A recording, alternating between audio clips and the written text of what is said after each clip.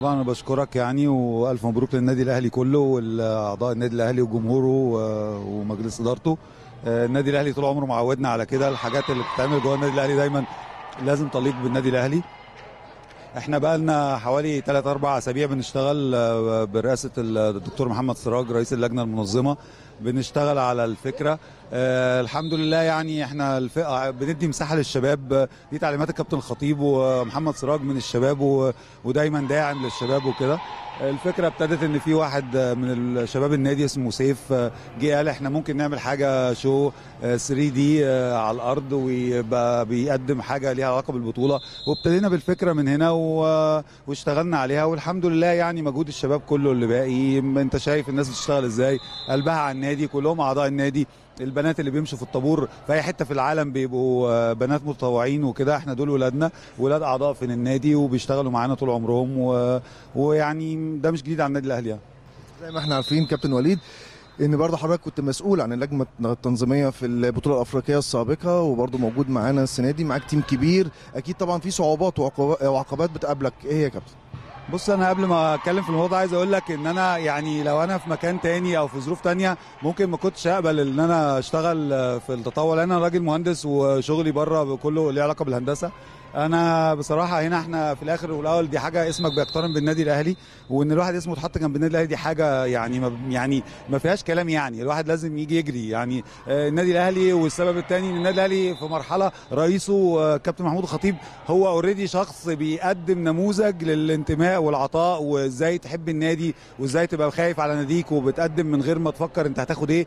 آه، الحاجة الثالثه كانت طبعا وجود محمد سراج هو اخويا الصغير وحبيبي. الحاجة الرابعة بقى وهي المهمة هم الشباب. الشباب ده انت مش متخيل أنا بحبهم قد إيه وأنا بقالي سنة ونص بتعامل معاهم هم حاجة يعني بالنسبة لي احسن حاجة حصلت في حياتي. آه، هم عارفين كده وهم أنا يعني دايما بوصل لهم ده وهم بيوصلوا لي أكتر من كده بكتير قوي.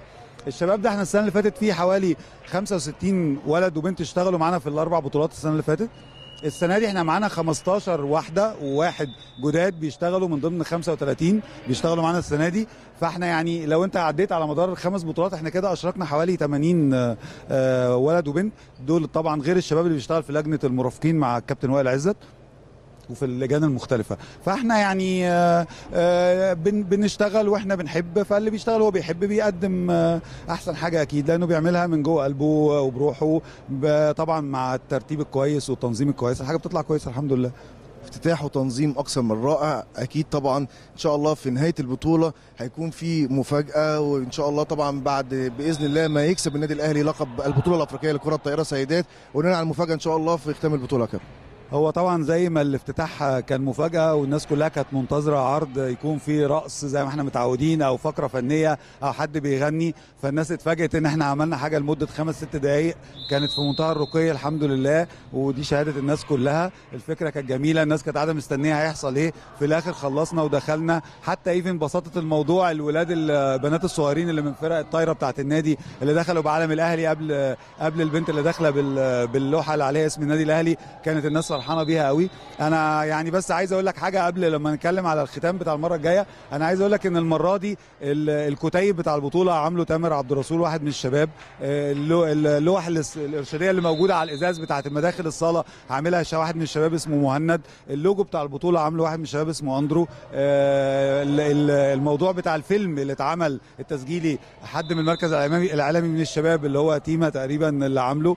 أنا عايز أقول إن يعني طبعا برعاية الاستاذ جمال جبر يعني اللي هو بيدعم ال- الناس اللي بتشتغل معاه في المركز وبيشجعهم طبعا كلهم.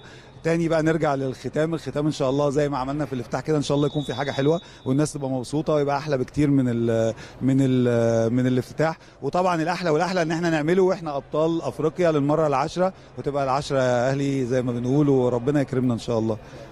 شرفتنا طبعا آه، كابتن وليد على قناه الاهلي حبيبي أنا بشكرك طبعا وأنا أول مرة على فكرة أطلع في حاجة أنا السنة اللي فاتت يعني أنا ما بحبش أظهر في في الميديا عامة يعني والموضوع بالنسبة لي بيبقى غريب شوية. بس يعني يعني يلا ألف مبروك على النادي الأهلي وربنا يكملها على خير إن شاء الله. إن شاء الله. ألف شكر.